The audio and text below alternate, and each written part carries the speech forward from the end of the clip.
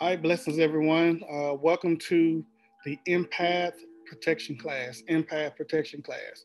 So this class is not only going to be about how to protect yourself as an empath, but it's also going to teach you some techniques on how to cleanse and clear yourself as an empath as well. Okay, so uh, the first thing I want to talk about is what is an empath? And anyone who's been under my teachings, you know, I, I try to simplify everything so that it, it could be understood across the board. So I'm going to try to just keep it really simple and straight to the point as far as you know what an empath is. An empath is somebody who has empathy. Empathy. Empathy on a supernatural level, meaning uh, empathy where you can feel it in your soul, in your mind, in your body. Empathy to where you can place yourself in that person's situation and see it from that person's point of view, even if you've never been through it. You may have heard some people say, well, you can't teach anyone or share something with someone unless you've been through it yourself. And for the most part, that can be true. However, as an empath, an empath can actually feel the emotions of something that they've never been through. Empaths can use their imagination, saying, okay, if I was in this situation, how would I go about doing it? Or how would it make me feel? And as an empath, you can have real life feelings on the imagination that you created to see how you would feel about it. It's just like if someone said, you know, how would I feel if one of my children died? And then they allowed themselves to be in the moment as if that happened. Well, they will develop, you start to develop true emotions and feelings on that scenario. Now, the thing about an empath is because of that, we have to be careful with allowing ourselves to stay in those type of visions too long because now we can start manifesting some of these things just so we can experience those feelings and emotions. And we don't want to keep ourselves in that and manifest something that wasn't supposed to be so. So keep that in mind when using your imagination, your mind to help you feel what someone else is going through. Do not allow yourself to make it your reality. Remember, it's just an imagination for the moment, for the teaching. So when I do that, I tell myself, okay, that was just for training purposes. We're going to avoid that. Voiding it means that's not a manifestation I'm going to place out there in the universe. Meaning that that vision, that feeling, that scenario that I created, I'm going to pull the intentions of that back because I don't want that to stay out there and then become something of manifestation. So, again, in simple terms, an empath is someone who has strong empathy on a supernatural source, whether it's feeling, seeing, hearing, just knowing. Now, there are different types of empaths. You have some empaths who are able to feel other people's physical pain, meaning if someone comes around you, all of a sudden you start to have having an ailment that you typically wouldn't deal with. And you're like, why did my knee start hurting all of a sudden? I tell you about an experience. Uh, my daughter, when I would pick her up from work, whatever pain she was having in her body, the minute she gets in the truck, I instantly feel it. And I said, baby, your, your, your right knee hurt? And she'd be like, yeah, because I felt it as soon as she got in. My knee wasn't hurting till she got in. You know, she might get in and I said, oh, the lower back is tight because I felt it. Now, why was I able to automatically feel it? Because she's my daughter and I have this strong empathy for her already. So, because I don't want her to be hurting because she's my baby, I automatically allow myself to feel whatever she's going through so I can help her through it. Now, is that all the way healthy? Probably not. Some things I have to allow her to go through, but I can at least help her with the things that are maybe outside of her, you know, control, or some things that you know I can do to prevent her from having to go to the doctor to do it if need be. So, physical pain that includes organs, that includes uh, uh, physical symptoms like inflammation and swelling. It can be any type of physical ailment a person is dealing with that uh, you can take on for the sake of divination, which is knowing what that person is going through. Okay. Now, let's say you're in a store and you feel somebody's random pain. This just shows that not only do you have empathy for those that you love, but you also ha- have empathy for those who are just out, out there in the world. You're just an empathetic person. You love humanity, you love humans. So you may tend to take on random people's stuff because of your love for humanity. Now, you can also be an empath that also deals with emotions, feelings. This is like when you stand next to someone or a family member or loved one, and while standing next to them, you feel some type of negative emotion, or sometimes it can be a happy emotion, right? So, if you find yourself next to someone and you find yourself getting emotional you know, in a sad a depressed uh, type of way, you may be picking up on their inner feelings, their inner self, their emotional body. This is how they're feeling deep within. And sometimes the person that you're feeling it from may not even realize that they feel that way inside. They may not even realize that that's the energy that they're giving off. But as an empath, what we do is we're like a, a scanner. We kind of scan their energy, even unintentionally, and we're able to pick up on their true feelings. So when you ask them, hey, you doing good today? You okay today? Just asking a person that as an empath can allow that person to say, you know, I'm actually not doing too well. And they may start explaining it. And then you, as an empath, can help them release whatever emotions or feelings that they had inside. Okay, you may be an empath that deal with energy. So as an empath with energy, sometimes I can walk past a person or walk in a room and I can feel the energy off that person or that room or that object. So for me, if I walk past someone who has negative energy attached to them, I get a, an allergic like reaction. I start to itch. My skin starts to itch when I get around negative energy. So that's my empath, that's my clairsentience way of feeling the energy around me. And you can feel different types of energy with experience. Over time, you learn with what certain energies feel like.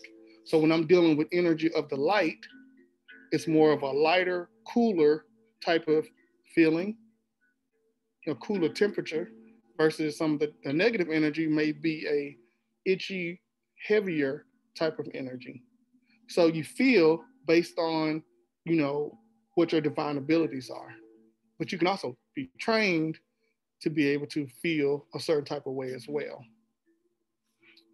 Now, let's talk about is an empath a gift or a curse? I hear I hear this a lot. You know, uh, being an empath is a curse, and the way I look at it is being an empath is a gift or a curse based on your experience and how you look at being an empath we have to remember that an empath is a divine ability. Divination means to receive an answer from a supernatural source. So if I'm able to use my physical body as a divination tool to feel someone else's pain, then I had to be given this specific divine gift for a reason, right?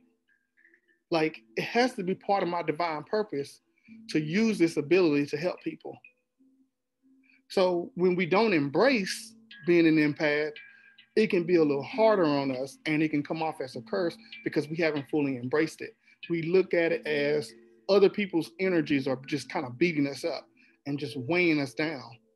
But when we embrace being an empath, we learn how to actually uh, deal with that energy and protect ourselves as an empath. And then we can use it as a gift versus a curse. So that's what this whole class is about. Is how to basically be an empath and, and use it as a gift, like actually use it in your divine uh, purpose. Now let's cover some empath symptoms. Okay, we already talked a little bit about. We know that we can feel other people's emotions and uh, feelings and physical body pain, energies. Okay, but sometimes when we absorb too much of other people's energies and feelings and emotions, we can find ourselves in a position of being weighed down. Just think about it. Everybody's energy is weight.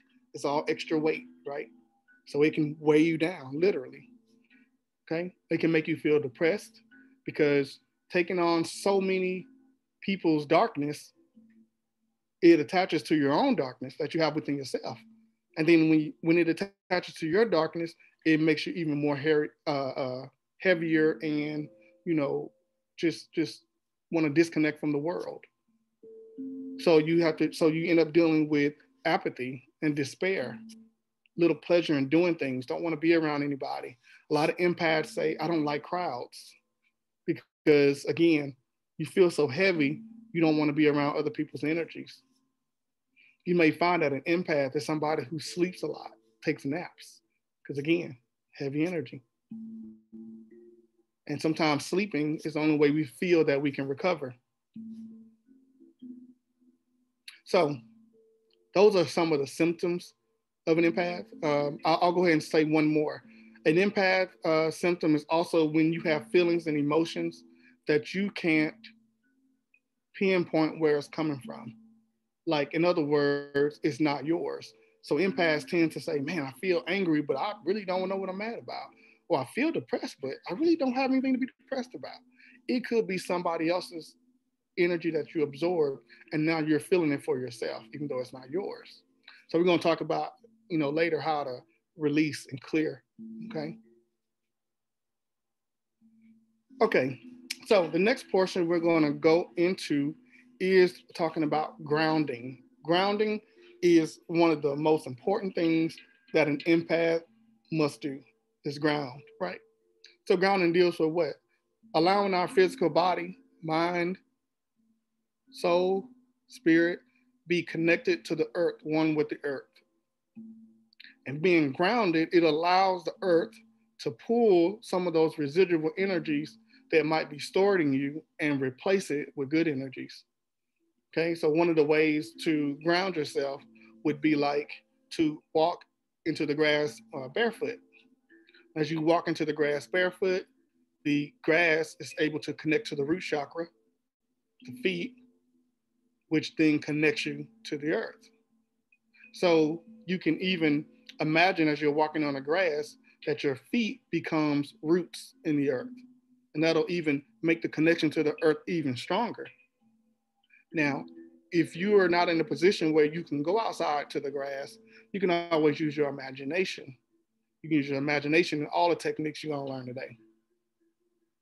Okay, trees. Trees are great ways of grounding because trees, the roots go very deep. So when a person hugs a tree, usually the, the tree will absorb uh, that person's energies, especially the residual and the bad energies, push it into the ground, and then the tree will replenish you with good energy, with light energy. So the trees can be a really good filtration center for your mind, body, and soul. And because trees are living things, I always recommend that you greet the tree and thank the tree for the job that it performed on you. Okay, if you're not able to get to a tree, then of course, again, you can imagine yourself hugging a tree and it will work all the same. Now, another good technique you use with um, grounding with trees, especially with rejuvenation, is laying your spine up to the tree because the Kundalini runs up the spine, the life force energy, which we're going to cover later. So, laying up against the tree with your spine, not only are you uh cleansing the Kundalini, but you're also rejuvenating it uh, simultaneously. Okay, maybe you don't want to hug the tree, but you can stand in the aura of the tree. The tree has an energy field. So let's say you walk under a tree and you're just standing under the leaves, but you're not actually touching the, the branch, the trunk. You can stand in the aura of the tree and still receive the same benefits from the tree, even though you're not touching it. And usually what'll happen with that is because the roots go so deep, the tree roots, the energy from it can still ground you while the leaves can push the light energy into you. So it's kind of like a cycle that happens just by standing there. And again, this is something that you can also use your imagination to do as well. So, since I'm sure most of us are not outside at the moment, we're going to uh, do this using our imagination. One, for demonstration. Two, so that you have confidence that in doing this in the mind, that it will happen in real life. So I want you to choose a technique of grounding. It can be walking barefooted, hugging a tree, sitting your back against a tree, or literally just standing in the tree's aura, however you feel comfortable with in your imagination. And if there's something outside of that that, that comes to you, then go with that, because that means your divine ancestors and your higher self is giving you another technique that may work better for you. So imagine yourself in that position and allow yourself to feel it as if you were out there doing it right now. There's a specific tree that you like to go to that you can think of. You can even use that tree as an example. And again, feel the tree, feel its energy, feel yourself being connected to the earth.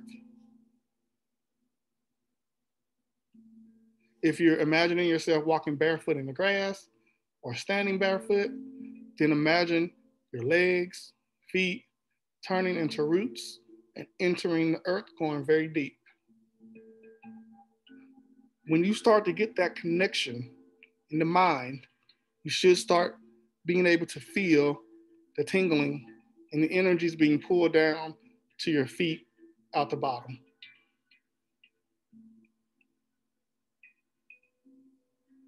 So, this is a way to ground yourself here without actually doing it in the physical.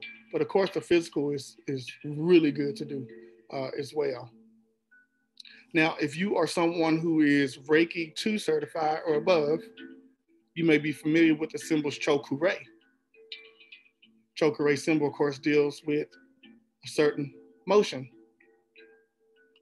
So, since Choku Rei deals with pulling energy, cleansing, I like to place the choku rei under the bottom of the feet because that also allows you to be strongly grounded and rooted because that choku rei energy, you know, of course, bringing the power of the universe here allows you to be grounded uh, with a very strong connection. So here's an example for those who are watching. I want you to slightly, if you can, lift your feet off the ground. If you can't, it'll still work. It's okay. And I'm going to place Choku Rei under the bottom of each foot. Once the symbol is there, you should feel a strong tingling sensation. And again, you should feel like energies are being pulled from the top all the way out the bottom of the foot. Also, while doing this, you can also put the reverse choku rei, which deals with pushing energy above the crown that assists in pushing those energies down out the bottom of the feet. So I place the reverse choku rei facing downward, right above the crown. So now you have the choku rei underneath the feet that are pulling down and the reverse choku rei above the crown that's pushing down, creating a, a very strong, uh, a very strong you know, push of energy.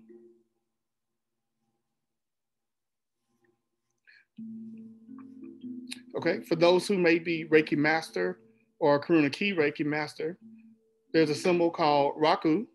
Raku deals with being able to be grounded.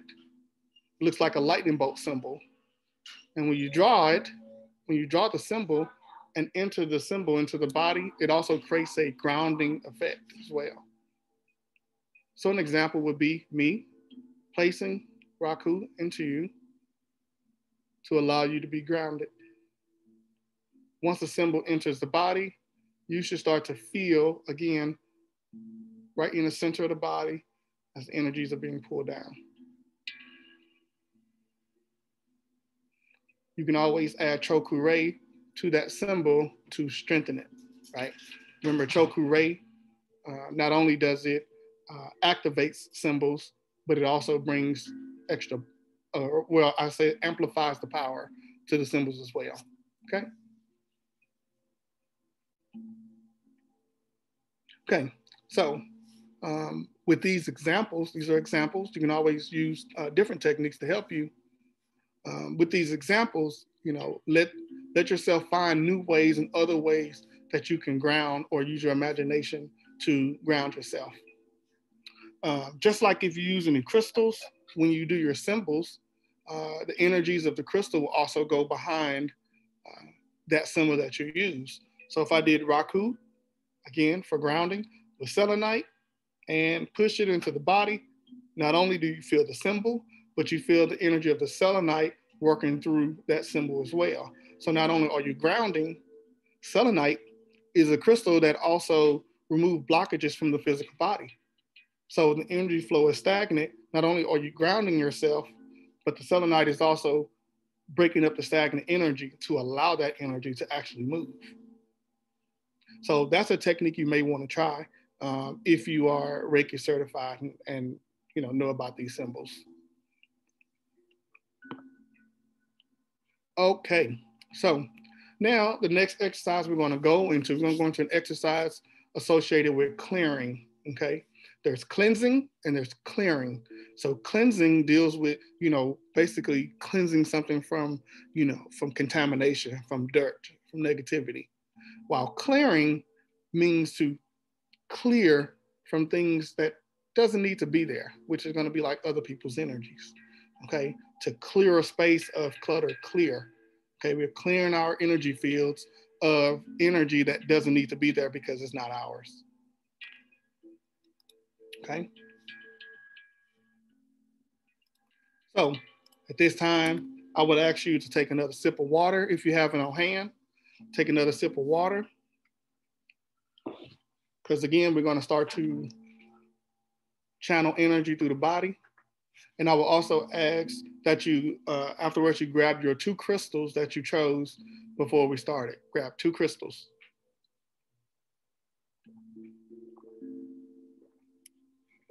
Okay. So we got some water in so we can start uh, getting ready to channel energy. Okay. So two crystals, one in each hand. It doesn't matter if it's a big crystal or small one. Okay. I just chose to use two selenites for the demonstration. And this is also what I like to use um, uh, when I do my own self healing. But sometimes I might be led to use a different set of crystals maybe sometimes I'm you I'm uh, led to use rose quartz in one hand and tiger's eye in the other, or clear quartz and labradorite. Then sometimes just selenite. Just depends, right? Go with your intuition. So when you have a crystal in each hand, what we want to do is absorb the energies of the crystal in our hands. We want to absorb the energy. So using our mind's eye, our imagination, you want to see, feel, see or feel the energy all the way up until it reaches the top of your head, both arms. Allow the crystal energy to go up the arms till it reaches the top of the head.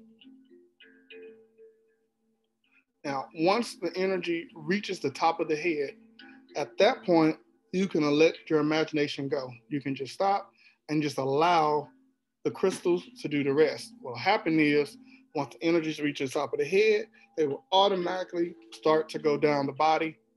And any energies that shouldn't be there, any residual energies that belong to other people, it would automatically start clearing all the way down out the bottom of your feet. So again, hold the crystals, use your imagination, bring the energy of the crystals all the way up to the top of your head, feel it as it reaches the top of your head. And once it reaches the top of your head, let go and let the crystal energy make its way down your physical body all the way until it exits the, the bottom of your feet. So let's take about a minute to let that process happen. Hopefully you already started.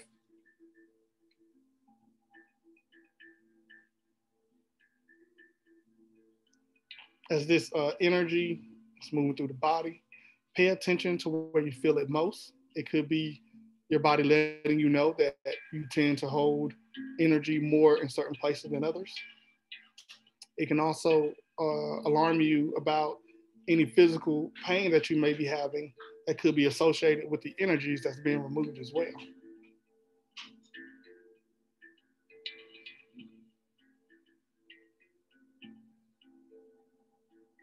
So this technique is a technique that uh, I have learned to use before bed so I can clear my energy for the day and also uh, after a session. So if I'm doing a session, especially one that was emotional for the client or one that dealt with a lot of negative energy, maybe it was a cleanse, then I definitely like to use uh, the crystals to allow to help me cleanse myself uh, from that energy.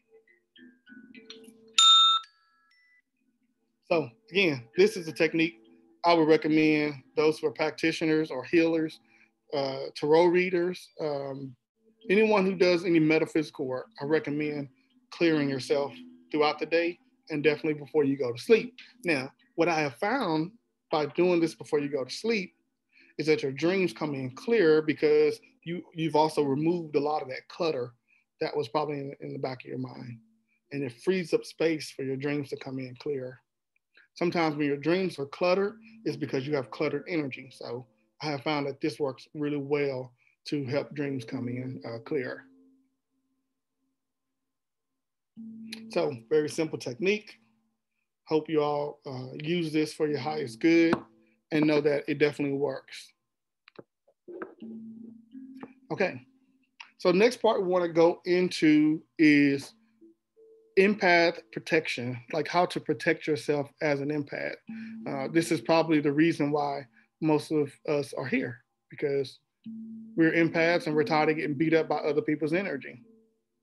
So, one thing about being an empath that you have to know, that you have to know, is that you can decide the type of energies you w- will allow yourself to absorb, right? So there's a thing called spiritual boundaries, emotional boundaries, physical boundaries. And when you set those boundaries, there are certain energies that won't penetrate you because it's a boundary that you set in the universe to keep away. So, as an empath, knowing that I have this ability to pick up other people's energies, especially random people, I had to put it out to the universe. Look, I don't want to absorb any energies that I'm not supposed to. Meaning, if it's not for healing purposes or cleansing or divination purposes, I'm helping somebody, I don't want to absorb just random people's energies. Random people's energies that I have no business absorbing, they stay away from me. I commanded so, Ashe. So now I have put a spiritual boundary. I put a boundary out to the universe. Don't send me the energy I don't need. Because why? Too much of it can be too hard on the body. I don't want to. I don't want to be weighed down every day, all day.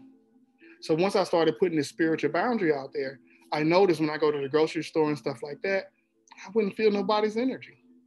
And the only time I will feel somebody's energy is only because I have to tell them about it because maybe there's a message for them. So now the divine says, if we let you feel it, it's because we need you to tell that person something. So if I don't have a message for that person, I don't need to be feeling it. And that's a spiritual boundary I had to set. So setting your boundaries, making it clear to the universe what you want to accept and don't, will will definitely make a huge difference in your uh, uh you know your empath protection. Okay. Okay. Another way of protecting yourself as an empath also deals with uh, placing bubbles or shields around you right? Or sometimes just in front of you or behind you. So when we talk about a shield, a shield can be like a, a complete circle, or like I said, just something in front of you. So let's say I'm talking to someone who I know is going to attempt to leak all their energy off onto me, and they're gonna walk away feeling good, and I'm gonna be sitting here like, man, you know, drained, uh, bothered by all of their stuff, and they just walk away. So if I know this person and I know this is a person who's going to drain me or that I'm allowing to drain me, I place a shield in the mind's eye between me and that individual.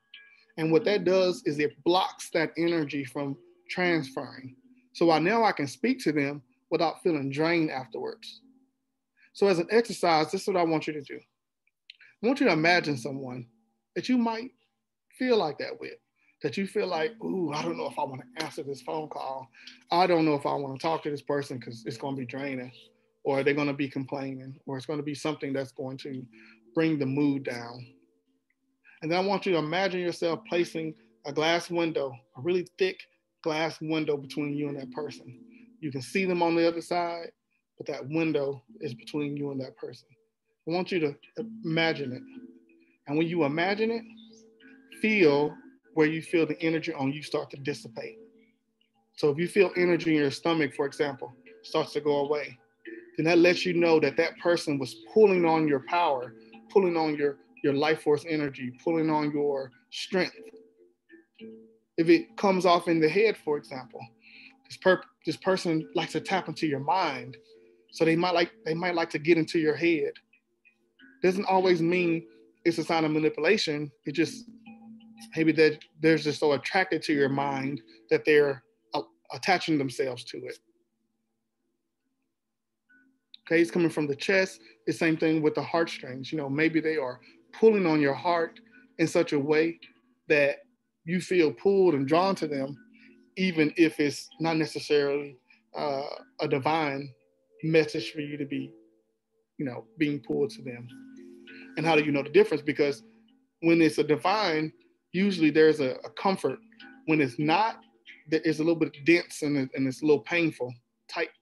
So sometimes you have to try to try to differentiate between am I being drawn to this person divinely or am I being drawn to this person because they're pulling me to them, right? So place a glass window between you and the other person. If you're someone who's a healer or a reader, I recommend even doing the same thing for your clients. Before you fully get deep into the session, place a small glass window between you and the client so that you can allow your clairvoyance, your claircognizant to start working.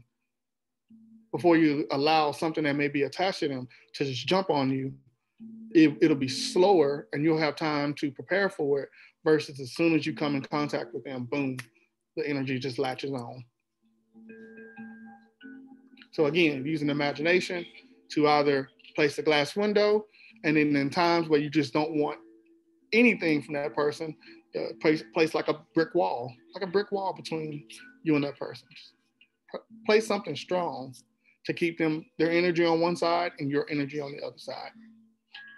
Okay. Now you can even do this with people that you love because loved ones, while you love them, they still can be draining, right? Family can be draining.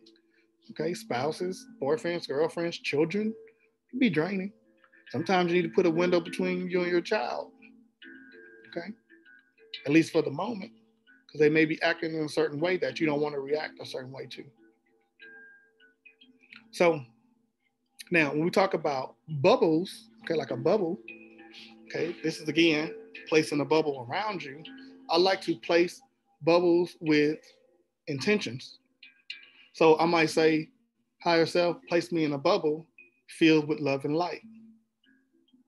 So then I just imagine a bubble, and then the energy of love and light fills up the bubble, and I can feel it on my skin surface. I can feel the energy getting cooler, like a cool breeze.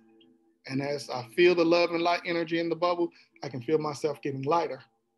The love and light energy can act as a cleansing itself.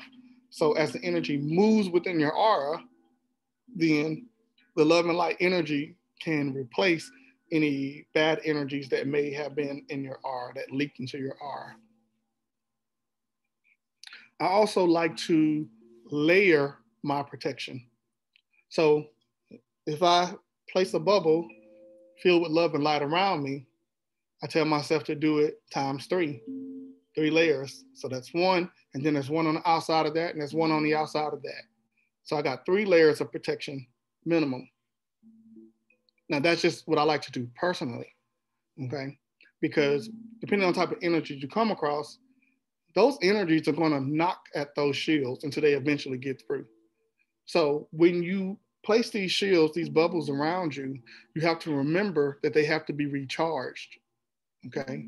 Now, what is that saying? It can be simply just saying, look, okay, ask my higher self, place myself in a bubble of love and light, times three. Now 12 hours has passed. I'm starting to feel some things. because I was out in the public. I'm gonna just take a second and stop and either tell my higher self to uh, uh, heal and repair those shields, those bubbles, or just ask my higher self to place a new one, place new ones around me. But a rule of thumb I like to live by is at a minimum two times a day, especially if you're an empath, right? You want to make sure at least twice a day you place your shields around you, your bubbles. You want to do it before you actually start engaging with other people during the day, especially before you leave home. And you want to do it before you go to bed because while you're sleeping, your physical body can still have other energies latch onto it. Plus, it also helps you be protected while you're in dream state. So, at least twice a day before you get out and about and before you lay down and go to sleep. So before bed, while you're laying there, this is a good time to do uh, self-healing, self-Reiki, if you're Reiki certified, to do uh, your protection shields, to start clearing your energy. That's a good time to do that before you uh, go to bed. Okay. Another, well, before we go into the symbols, we're gonna we're gonna do a demonstration in the practice. So let's start with the bubbles. So we already did the shields, imagining between you and another person. Now for yourself, I want you to tell your higher self, your higher self, to place you in a bubble filled with love and light. We'll just go with love and light right now. And then if you feel led, you can add anything to that bubble. So, higher self, place me in the bubble filled with love and light, Ashe. Or you can say amen or namaste. Now your higher self places you in this bubble, filled with love and light.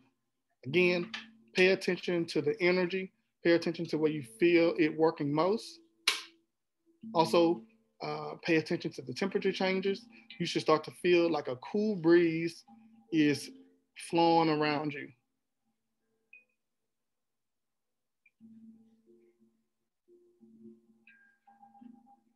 Okay, hopefully by now you're starting to feel the energy work on you. And again, you may even feel it cleansing certain parts of the body that needed to be cleansed.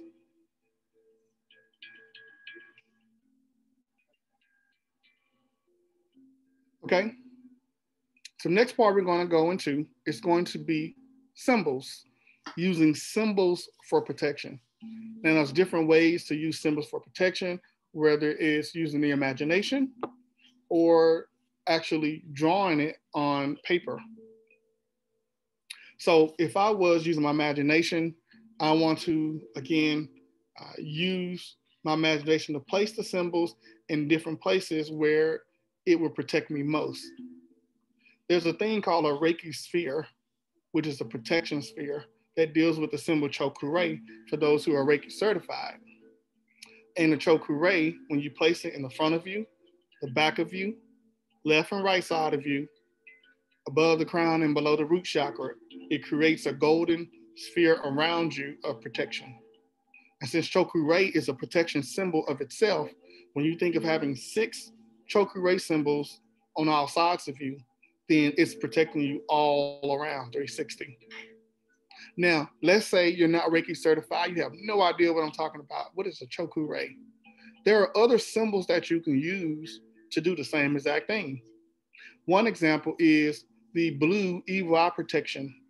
Now, some traditions say that that blue evil eye can bring you harm, while other traditions say that this evil eye is a protection symbol. So, how you look at the symbol is how the symbol will work for you. When I look at the symbol, even though it's called the evil eye, I'm not calling it that. Like, I don't look at it that way. I look at it as a protection symbol to protect me against evil. So because I look at it that way, that's how it's going to work for me. So I imagine a symbol facing outwards on six sides, again, in front of me facing out, back of me facing out, left and right, top and bottom facing out, meaning facing outward. So whatever comes towards the shields, it can reflect it. So use your imagination, use either Cho-Ku-Rei or you can use the evil eye protection symbol or any other symbol of protection that you may feel that you want to use. Place the symbols in the front, back, left, right, top, and bottom, and then feel as any negative energy, negative intentions towards you, you should start to feel those energies dissipate immediately. So let's take a minute or so and do this. And again, pay attention to where you feel it. Pay attention if you've seen a face or heard a name or heard a place that you may have picked up this energy from. So as you place the symbols in those positions, you should be able to feel it. Now, for those who are Reiki certified, uh, I like to actually use both symbols. So what I did is uh, I used a Choku Rei with the eye protection symbol and another Choku Rei, like in a sandwich. If you remember the Reiki sandwiches you can make with symbols. And then I place those set of symbols on the six sides of me to just amplify its power. And now I got two forms of protection. You can also use symbols of protection uh, based on your cultural, religion, spiritual systems. For example, someone who may be a Christian, you may want to use the cross and place it on six sides if that's a symbol that you look at for protection. If you're spiritual and you're into the Ankh, the cross of life, you may want to use that in your six sides uh, for protection. Whatever symbols that you want to use for protection, you can use this method for. You are not limited to the ones I use as, as an example today. Now, another way you can do this, if you want to save some of your mental energy, let's say you're mentally tired and uh, you just can't focus to put these symbols uh, where they need to be, you can also do it on paper. You take a paper, take a piece of paper, and you just draw a little stick figure. I like to use stick figures. Draw a little stick figure, okay? And above, you put the symbol, both sides, bottom, and then you can write one on top of the stick figure to simulate the front, and you can write another one, kind of like maybe offset of the body a little bit with the intentions of simulating the back, right? When you write it, you'll know which order you're putting it in. You just gotta draw it and just know that's where it's going. So you can write it and then it'll start working immediately.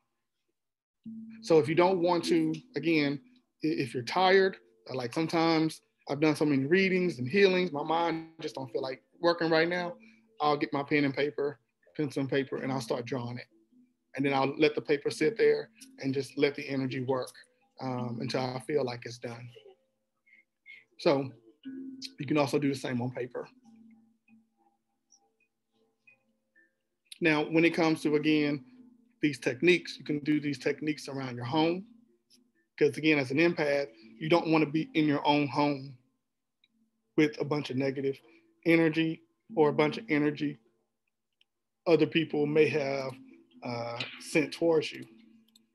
So you can do this around your, your home, your vehicles, and you can also place these symbols around your children and your loved ones. You know, if you're an empath, most likely if you have children, at least one of them may be an empath as well. A lot of gifts are bloodline, they're passed down through bloodline. So placing uh, these around your children will help them. Now, if you have a child, for example, who tends to kind of cry a lot, and you say, Well, what's wrong with you? And they'd be like, I don't know. What do you mean you don't know? I don't know. That child's probably an empath. That child probably really doesn't know why he or she is crying. So, you have one of those children who are very sensitive like that, place these symbols around your child to protect them from the outside energies that may be influencing them.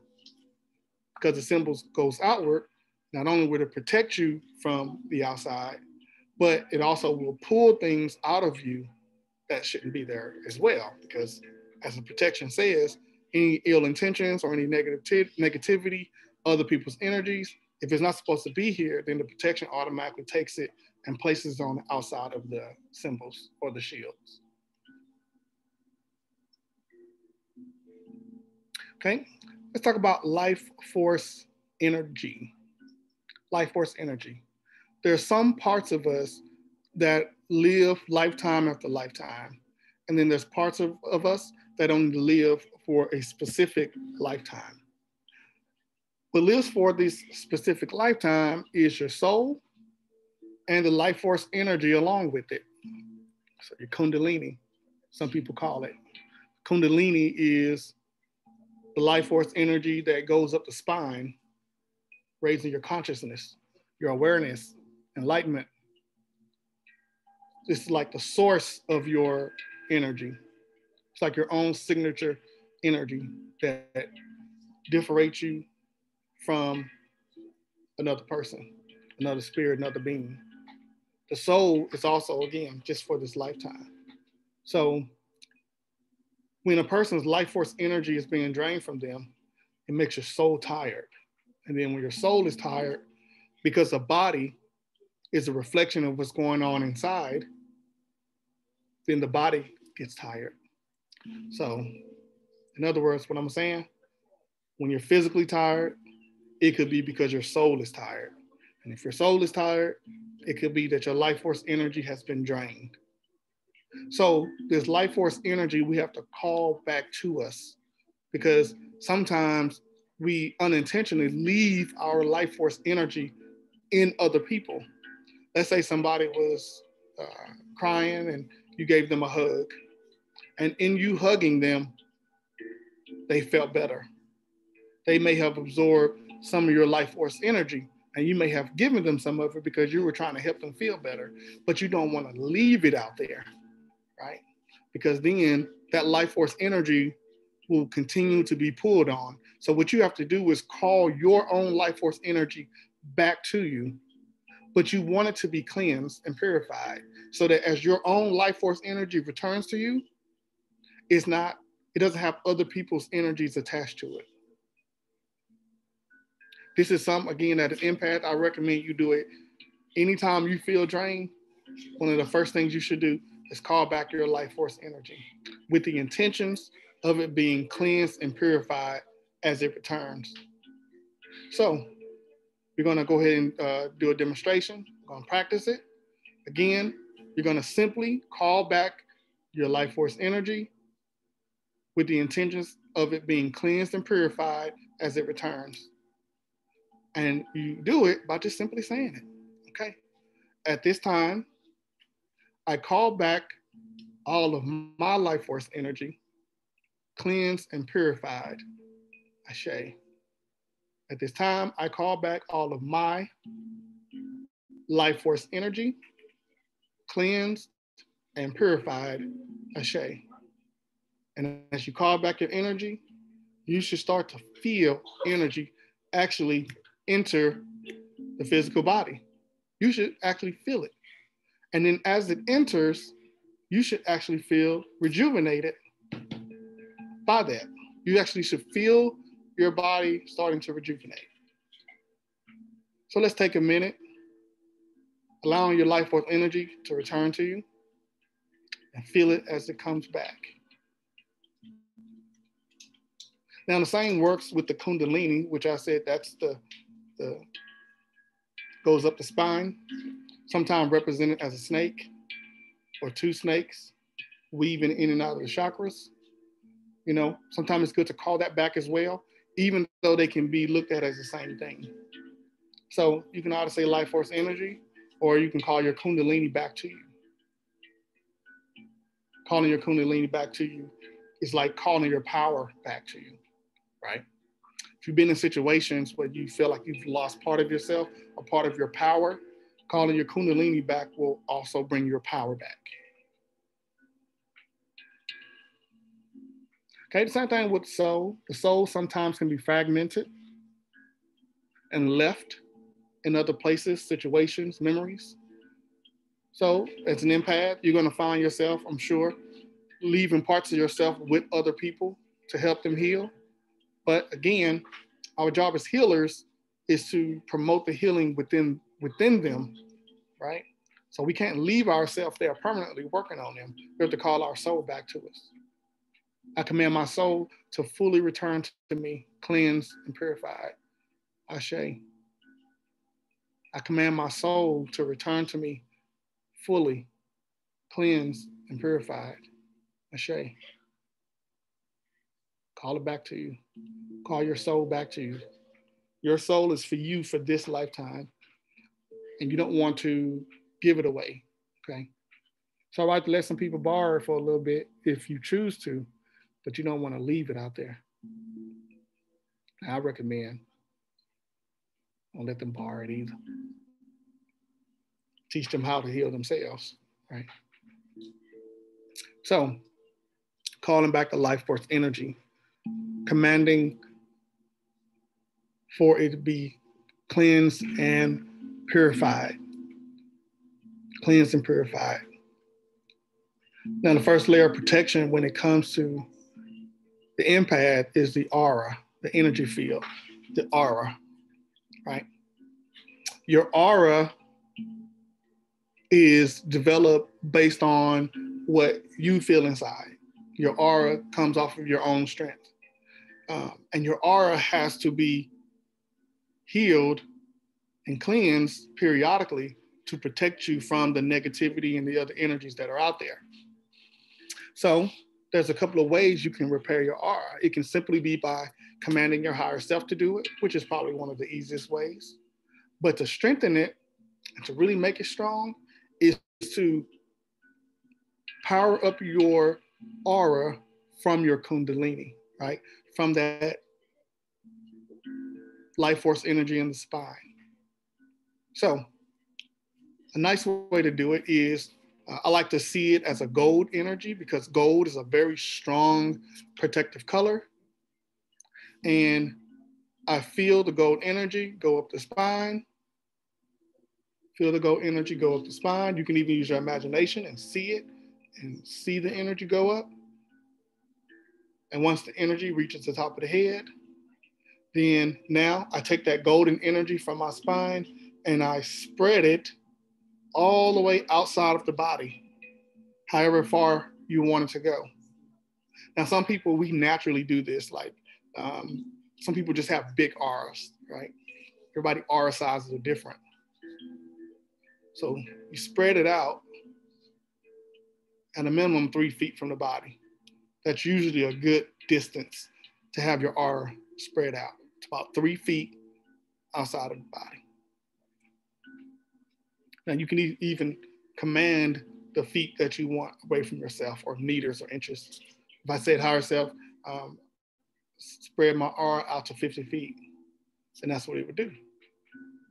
Now the issue with that is that sometimes when your aura is big like that, if you do that, once somebody walks into that 50 feet into that aura, your aura can absorb what's in their aura, and then it makes one big aura. So that means your aura has to be strong enough to kick out their stuff versus absorb it and then you have it now. So every time two people walk next to each other, the two auras becomes one big aura. You know the old saying. There was a, a what do you call it? Uh, you know, people say if you split the pole, it's supposed to be bad luck, right? So what happens when you split the pole when two people are walking together? If the auras have become one and you split the pole, the aura now has a gap in it. And any negativity that was around can now enter both auras because there's holes in them. And then once the negativity enters those auras, and then you get back together on the other side of the pole, guess what? Now that one aura forms again with the negativity inside of it that happened during that break when y'all split up.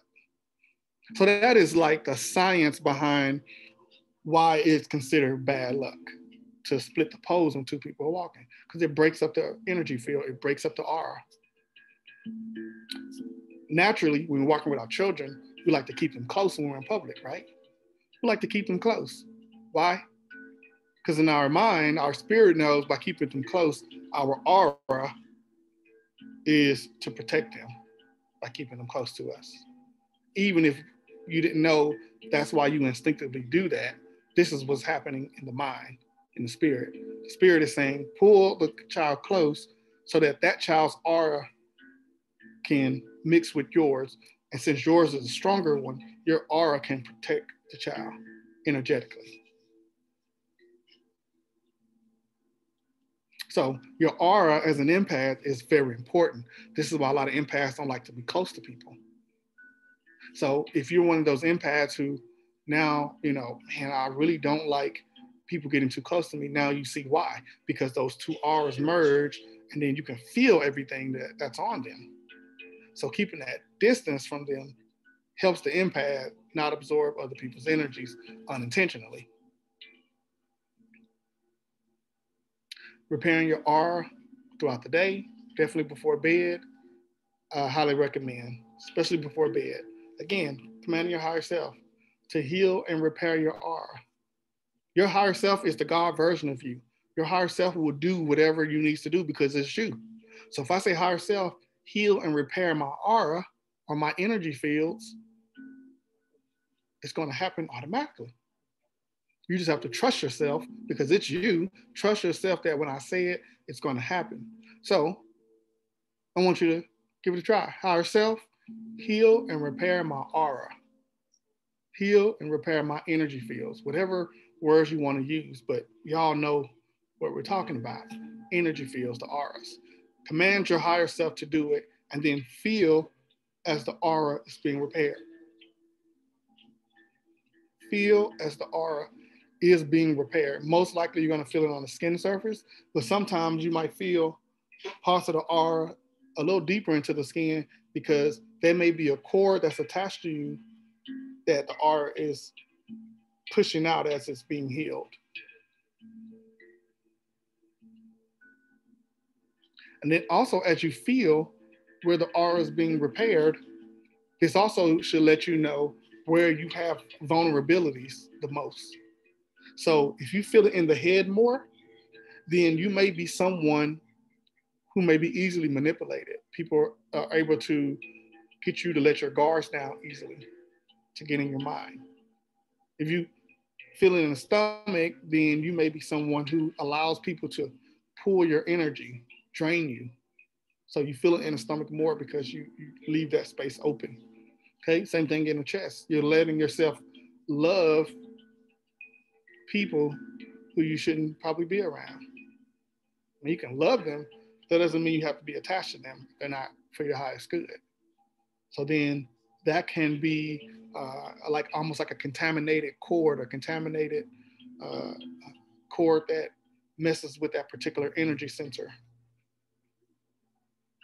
So again, feel where you feel the vulnerabilities in your aura, and then pay attention on how it gets there.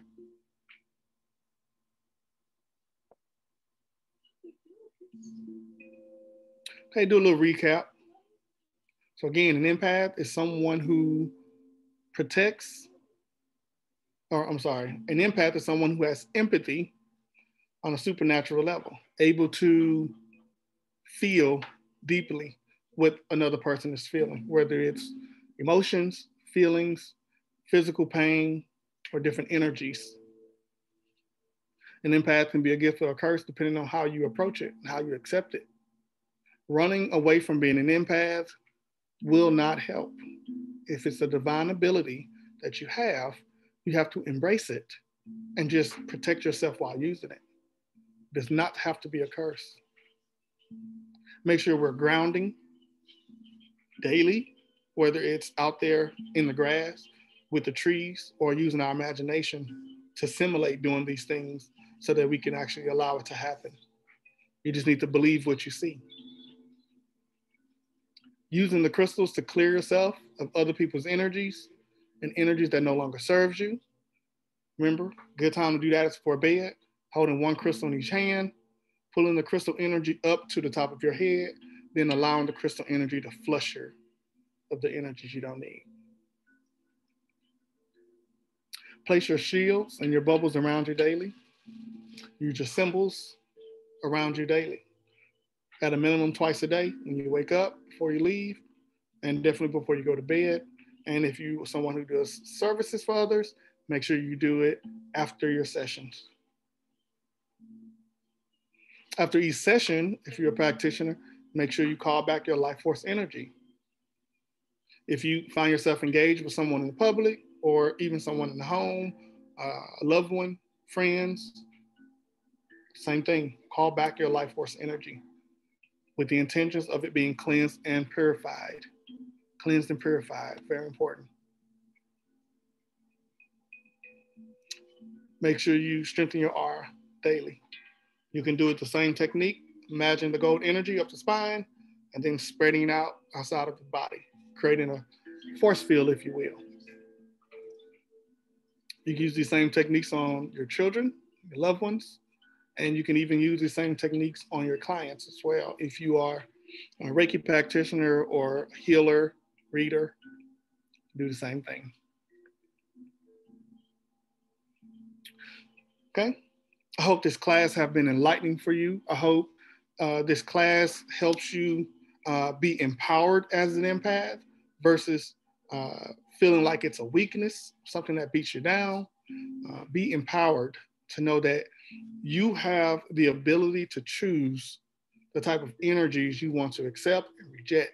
And as an empath, you do not have to be turned on all the time. You can tell yourself to turn it off. You know what? I'm not empathing today. Today, I'm turning it off. It's okay to take a break from it.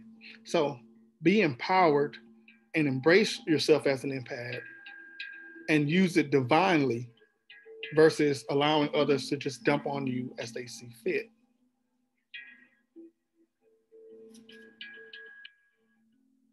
Stay grounded, stay hydrated, stay light. Have a beautiful evening, morning, or afternoon, depending on when you're watching this video. And hope to see you in the next class. Ashe.